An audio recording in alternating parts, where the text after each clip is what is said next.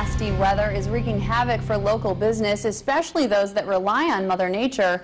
Many area golf courses are underwater. Joe Rignowski has that story and lets us know if most area courses are open.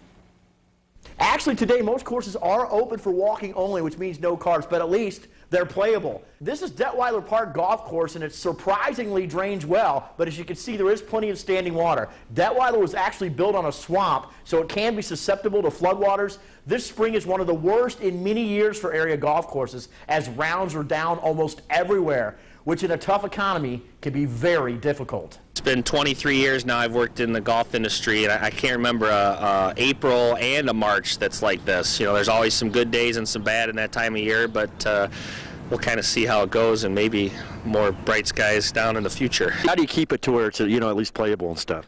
Well, the maintenance staff out here does a great job. They uh, they kind of get the areas that are really bad, they rope them off. They really try to make them uh, uh, available for play as much as possible and uh, make it easy on the customers that come on out.